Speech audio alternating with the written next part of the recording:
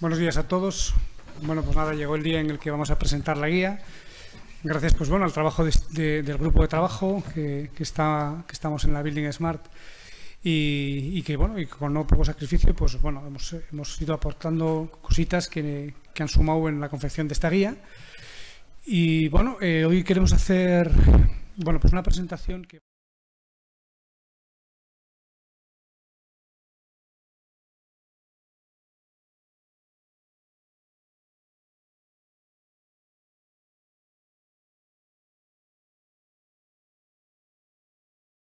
Que en patrimonio histórico o, arquitectónico, bueno, pues eh, tiene, afronta una, unas peculiaridades mucho más, eh, que van mucho más allá de lo que es el proyecto en sí, ¿no? Es decir, toca el lado humano, luego hablaremos un poco de los casos, eh, etcétera, ¿no? Bueno, agradeceros a todos los que habéis venido, pues no sois pocos, por participar, por querer escuchar estas versiones, las personas que hoy nos acompañan eh, y bueno, gracias a las cuales también pues, nos, sentimos orgullosos de, poder presentar. Pues está la comisión es BIM, es Jorge Torrico, que no hace más que dar charlas por toda España para concienciar de que, de que tenemos que dar este salto de BIM en, los proyectos. Él está en la parte de, obra nueva, él forma parte del equipo de INECO y luego también está pues, nuestra compañera Raquel María Lara, que está en la Subdirección General de Arquitectura y Edificación. Ellos ya están lanzando licitaciones en la parte de patrimonio histórico, bueno, pues requiriendo el uso de BIM o puntuando el uso de BIM. Nos hablar también de algún caso en concreto. Y, a mi izquierda, bueno, pues está Sergio Muñoz, que es la, un poco la voz de, la Building Smart, gracias a la cual, pues bueno, estamos todos aquí reunidos. Se ha encargado de coordinar un poco, bueno, pues la confección total de la guía con el trabajo de todos y bueno, y sin más, y ya que vamos un poquito retrasados para que luego nos dé tiempo a tomar el vino tranquilos y podamos charlar un poco, pues nada, eh, le damos paso a, Sergio y poco a poco. Puedes poner un momento mi presentación, Alberto, y esa de ahí, y ahora me dejas el... Bueno, muchas gracias a, todos por venir. Como decía Alberto, soy Sergio Muñoz, secretario de Builder Smart Spanish Chapter. Y, bueno, la verdad es que nosotros lo que hemos puesto es, los medios y la infraestructura necesaria para que esto, para que esto saliera a la luz, pero realmente eh, este trabajo hay que agradecérselo a los, creo que 38 eh, profesionales que de forma eh, voluntaria y desinteresada han trabajado en, esta guía, ¿vale? Igual que, bueno, pues ya en su momento publicamos otra, otra serie de guías eh, en el año 2014 que hemos ampliado con este nuevo documento ahora para, el ámbito de patrimonio. De forma muy breve, para quien no lo sepa, Smart es una asociación que es internacional, es neutral y sin ánimo de lucro.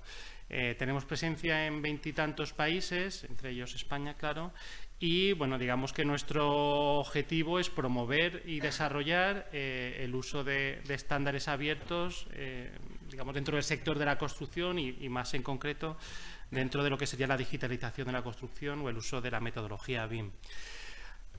En España nacimos en el año 2012, eh, alrededor de 20 organizaciones, ahora somos alrededor de 200, he visto a Jesús Alfaro de la Universidad de Castilla-La Mancha, que también es eh, socio, por ejemplo, o INECO, Petrovin, eh, bueno, seguro que hay varios más aquí que, que, estéis asociados y, por supuesto, pues está abierto a, todo el sector a formar parte de la organización.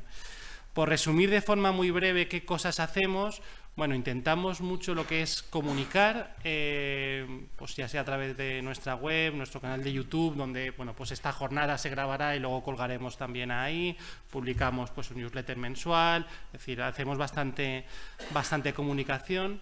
Luego lo que sería difusión, también pues participar en lo que es jornadas. Tenemos un journal científico que su último número publicamos hace, hace muy poquito, es el único journal que conocemos científico sobre BIM en español. Ya creo que llevamos siete, números, eh, con bastante alcance también en, Latinoamérica.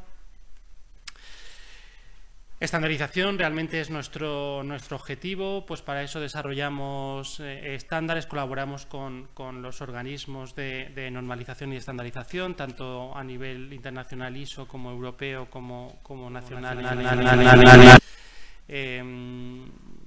Bueno, ahí, ahí podéis ver la portada de la, de la guía, de, la guía de patrimonio.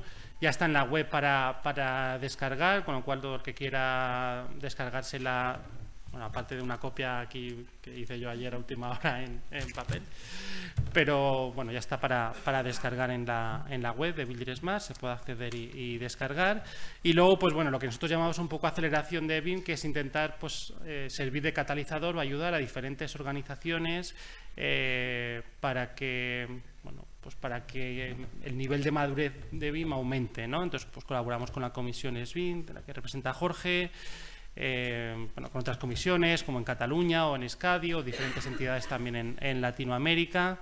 Eh, tenemos grupos de trabajo un poco a demanda de nuestros propios socios. Ahora mismo tenemos, tenemos dos, el propio de BIMI Patrimonio, del que hablará luego Alberto más en detalle, que muchos pertenecéis, y otro sobre BIMI y, Facility Management o, propietarios y gestores de Facility Management.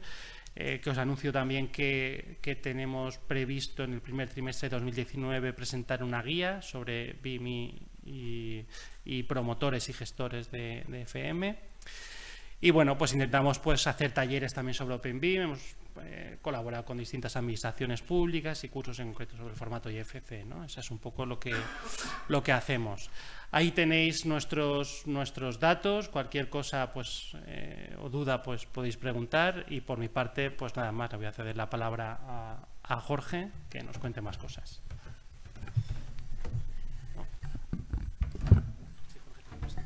Gracias, Sergio. Bueno, buenos días a todos. Eh, bienvenidos. Lo primero quiero eh, felicitar a Alberto y a todo el grupo por, por la consecución de esta guía que es una guía eh, bueno, que no solo cubre un hueco y un nicho de, actuación y donde también eh, la modelización BIM pues cubre un papel, tiene un papel importante, eh, sino que arroja pues bastante luz acerca también, y como se comentará a lo largo de la jornada de hoy, de la singularidad de los elementos de patrimonio frente a otro tipo de, de edificaciones, ¿no? Y esta singularidad marcará pues un tratamiento en cierta medida semejante y en cierta medida pues también particular y, peculiar. Bueno, yo quería eh, en esta pequeña introducción eh, bueno, pues, pues hacer patente eh, la necesidad que tenemos, no solo en, España, sino también en Europa de este tipo de, este guías y, traía un poco, y esto es un famoso diamante de Adam Matthews, es, una metodología de ver cómo evolucionamos distintas estrategias nacionales de implantación, de adopción eh, BIM que se están desarrollando en Europa a través de parámetros comunes. Y bueno, pues básicamente son estas cuatro líneas, estos cuatro aristas del, de este diamante y, esta línea, eh, perdón, esta guía encaja perfectamente en lo que es el desarrollo de un marco colaborativo, que quizá en castellano eh, pues nos dice poco, pero es eh, generar un cuerpo de documentos, un cuerpo de documentación que nos ayude a trabajar en, BIM. Y en este sentido, pues, pues, damos la bienvenida a esta, a esta guía. Una guía mm, que desde mi punto de vista pues, era necesaria, bueno, que como decía antes, pues manifiesta estas particularidades, estas peculiaridades de, lo que es el, patrimonio, amplía el abanico de acción de lo que es la propia metodología BIM, que muchas veces vemos muy orientada a la obra nueva, pero realmente tiene aplicación pues no solo en obra nueva, sino en otros elementos de, de edificación y de infraestructuras y evidentemente también en el patrimonio histórico. La importancia de la gestión eh, de la información digital y de la digitalización, de la propia digitalización de la información y generar eh, contenedores que puedan unificar toda la información disponible, documentación disponible y que sirvan de herramienta a todos los profesionales involucrados en eh, la gestión de, este tipo de procesos, historiadores, arquitectos, etcétera. Cualquier eh, profesional pueda acudir, digamos, a puntos únicos, aquello que que los británicos denominan el single source of truth, poder tener agrupada eh, toda la documentación, información referente, en este caso a un elemento de patrimonio o a, cualquier otro edificio. Y el valor que también se puede aportar a través de la digitalización y a través de la modelización al eh, propio bien cultural propio bien de patrimonio. Y bueno, pues pondré un pequeño ejemplo, eh, digamos que viví en, primera persona. ¿no? también del uso eh, que hacemos del patrimonio como un bien cultural y la necesidad que, eh, tiene de difusión. Evidentemente, pues hay elementos, edificios muy conocidos y otros que también a través de su propia digitalización pues pueden llevarse, entre comillas, hacia, hacia el gran público o hacia el disfrute de, este bien cultural que en otro momento pues a lo mejor no se podría realizar y un poco transmitir un mensaje de alineación con eh, todo lo que se está desarrollando en esta iniciativa y con, estos aspectos clave que serán eh, tratados a lo largo de la jornada. Eh, Sergio destacaba algunos, la importancia de la interoperabilidad, de los datos abiertos, bueno, en este caso también la potencialización de la visualización, la difusión como herramienta muy importante. Y ya digo que, nos satisface ver en, la versión que hemos podido leer pues este alineamiento con, una estrategia eh, general y que también encaja con lo que es el, valor de esta metodología BIM para la propia administración y que, luego bueno, Raquel abundará en, ello. Yo no voy a entrar, no voy a entrar mucho, pero vemos algunas eh, cuestiones eh, que realmente entendemos como, como necesarias relacionadas con la, con la transparencia, con el entendimiento entre, entre agentes, con el control, eh, que nos permite la digitalización de la información y la inclusión de esta información en contenedores únicos. Bueno, tampoco voy a pisarle a Raquel parte de su discurso, trasladar que es desde el Ministerio, evidentemente se, se apuesta por esta metodología, que están en marcha diversos proyectos pilotos, no solo en el ámbito de la edificación, sobre los que eh, hablará con mayor detalle eh, Raquel, sino bueno, también en el ámbito de la infraestructura. Eh, la infraestructura es también un campo de, utilización y de aplicación del BIM. Y bueno, simplemente para finalizar, quería comentar este caso real. Esto es Aviñón, este es el, puente puente de Aviñón, el famoso pont de Aviñón. Y, bueno, pues en una visita, una reunión que tuvimos del TC 442, de Comité Europeo de Normalización, precisamente en Aviñón, pues descubrimos eh, este trabajo que se realizó, un trabajo eh, histórico de analizar cómo era el puente antes de... Esta es una visión actual, el puente se arruinó en el siglo XVI, creo, recordar, y el fruto de todo ese trabajo eh, histórico de análisis de las cimentaciones eh, se materializó también en un, modelo de tres dimensiones que también se ha incorporado en la difusión de, esta, obra, no solo como la conocemos, sino cómo fue y la importancia que tuvo en su momento como, eh, como puente, como elemento de unión, como elemento fundamental en la comunicación en esta parte del, sur de Francia y cómo estaba eh, configurado y cómo hoy pues, podemos disfrutar de algo que se ha perdido en, el tiempo y también destacar, como también hace la guía, pues este, este valor de la difusión y de la difusión a través de, la información digital. Y por mi parte, nada más. De nuevo, dar la enhorabuena al grupo, a todos los que habéis participado. Esta guía va a ser una referencia a nivel nacional, evidentemente, también a nivel internacional. Hay muy poco eh, realizado sobre el tema. Incluso sugeriría que en algún momento, aunque Alberto no sé cómo se lo tomará, eh, de que se pudiera traducir al inglés. Cuando hablamos de, BIM nos movemos en un mundo eh, global donde a veces el, hecho de que existan documentos en lenguas nativas, aunque el español es una lengua muy, muy hablada y que nos da la posibilidad también de trasladar todo esto hacia Hispanoamérica, pues hace que no podamos eh, compartir o entender qué se está haciendo en otros países. Esto nos pasa en muchas ocasiones con, los países nórdicos, donde bueno, pues el acceso a documentos en danés, noruego o finlandés pues es bastante, bastante limitado. Creo que puede ser una, y que va a ser una referencia, un documento eh, de referencia y por ello pues el, valor que, que tiene.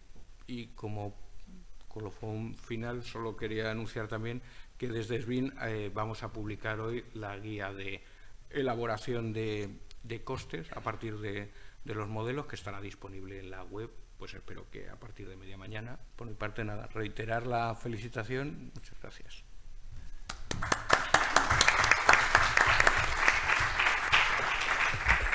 Gracias, Jorge. Bueno, Raquel, es tu, momento desde la Subdirección General de Arquitectura, con quienes ya hemos hablado en varias ocasiones, están preocupados inmersos bueno, en dar solución a la intervención de los bienes patrimoniales bueno, con una perspectiva de futuro, no solamente en la implementación del BIM, sino también en la información que alojan los modelos en sí. Y bueno, mm, damos paso a tu, a tu ponencia. Gracias, Raquel.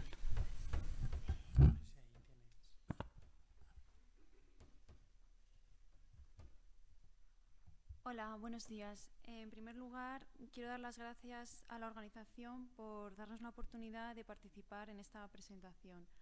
A continuación voy a hacer una introducción muy breve de una de las funciones de la Dirección General de Arquitectura, Vivienda y Suelo, que es una de las razones que justifica nuestra presencia hoy aquí.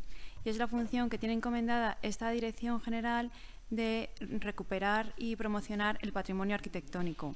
La otra razón que justifica nuestra presencia hoy aquí es el hecho de que la Dirección General de Arquitectura, Vivienda y Suelo está incardinada dentro del Ministerio de Fomento, el cual ha asumido un papel de liderazgo en la implementación de la metodología BIM. Como decía, una de las funciones de la Dirección General, entre otras muchas que tiene encomendada, es la de rehabilitación, restauración y recuperación del patrimonio arquitectónico. Esta función se lleva a cabo a través del programa de rehabilitación arquitectónica. A través de este programa se financian y cofinancian obras de rehabilitación arquitectónica en inmuebles de titularidad pública en las que el Ministerio es órgano de contratación. Asimismo, el Ministerio impulsa la excelencia de la arquitectura mediante la convocatoria de concursos de proyectos con el fin de llevar a cabo las obras anteriormente mencionadas. Por lo tanto, la Dirección General es órgano de contratación tanto en, obras encaminadas a la recuperación del patrimonio como en contratos de servicios que, tienen la finalidad de la redacción de proyectos que buscan la puesta en valor de estos bienes, así como la convocatoria de concursos, también conocidos por el sector como concursos de ideas. Además, existe otro programa eh, dentro de la Dirección General que también está centrado en la recuperación del patrimonio arquitectónico, que es el programa del 1,5% cultural, que como todos sabéis viene derivado de la obligación que establece la Ley de Patrimonio Histórico de reservar un 1% en todas las obras de licitaciones públicas con el fin de destinar este importe a la recuperación del patrimonio arquitectónico. En el caso del Ministerio de Fomento, este porcentaje se ha subido al 1,5% desde el año 2013. Este programa, sin embargo, se articula mediante subvenciones. Por lo tanto, en este caso, eh, la Dirección General no actúa como órgano de contratación, sino que son las entidades beneficiarias de estas subvenciones las que contratan las obras. En cuanto a la implementación de BIM en el Ministerio de Fomento, podemos leer en sus líneas generales publicadas en julio de 2018 que el Ministerio trabajará por la implantación efectiva de la metodología BIM en la contratación pública. En cuanto a para conocer la obligatoriedad o no de la exigencia de requisitos BIM en las licitaciones públicas, debemos acudir a nuestra norma fundamental en materia de contratación pública, que es la Ley 9-2017 de contratos del sector público. En esta ley, mediante esta ley se ha transpuesto de la Directiva 23 y 24 del año 2014, en la que ya se recogía la posibilidad de que los órganos de contratación incorporasen en sus pliegos el uso de herramientas electrónicas específicas.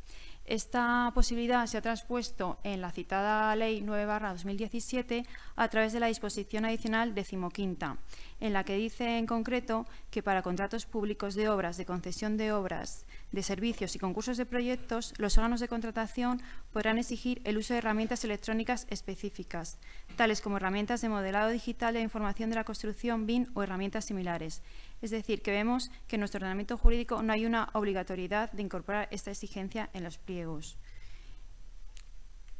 En cuanto a cuál es la postura o la situación en la que nos encontramos en la Dirección General de Arquitectura, Vivienda y Suelo, podemos decir que estamos trabajando por una incorporación gradual y progresiva de, la exigencia de requisitos BIN en las licitaciones.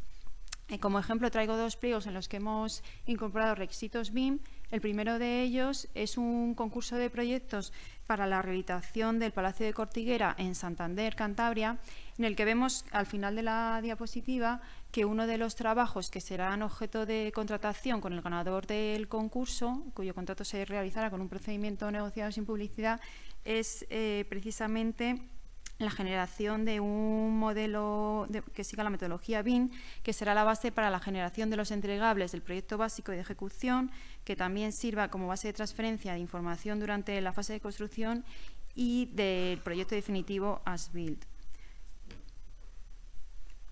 Otro ejemplo eh, de pliego con requisitos BIM es este contrato de licitación de obras para la restauración del Ateneo en Madrid, en el que vemos que dentro de, la memoria que tienen que entregar los licitadores de la oferta técnica, que, que, es uno de los criterios de adjudicación en base a juicio de valor, es la redacción de un plan de ejecución BIM, que se valora de acuerdo con el desglose que aparece ahí más abajo. Una de, por ejemplo, se valora la definición precisa de los niveles de información en los modelos. Y ya como conclusión, recoger algunas de las barreras que nos hemos encontrado en este proceso de implementación de BIN en las actuaciones a realizar sobre el patrimonio histórico o que pensamos que nos vamos a encontrar porque todavía eh, estamos en una fase un poco incipiente en la dirección general. Entonces vemos que existe una falta de preparación de los técnicos y demás agentes intervinientes en una actuación sobre patrimonio histórico, también vemos una falta de preparación de los propios técnicos de la Administración. También vemos que es necesario una mayor coordinación de los diferentes agentes que intervienen normalmente en una rehabilitación en patrimonio, con perfiles muy diferentes como arquitectos, arqueólogos, geólogos, historiadores. Y esta coordinación es mayor al utilizar la metodología BIM, ya que deben trabajar en un único modelo que contenga toda la información. Eh, también eh, la característica de los bienes inmuebles históricos que acumulan una serie de etapas constructivas, pues esta metodología debería poder permitir eh, esta lectura. Y también el hecho de la singularidad del patrimonio histórico en el que cada elemento constructivo es singular, sin responder a un estándar o un, a un proceso de industrialización que parece entrar en contradicción con la metodología bien inicialmente pensada para edificios de obra nueva. Eh, por todo ello, desde la Dirección General de Arquitectura, Vivienda y Suelo, celebramos la asistencia de una iniciativa como la que nos ha reunido hoy aquí, que es la presentación de una guía BIM específica para patrimonio cultural y que estamos seguros nos va a ayudar a todos los presentes en esta tarea que tenemos por delante. Muchas gracias.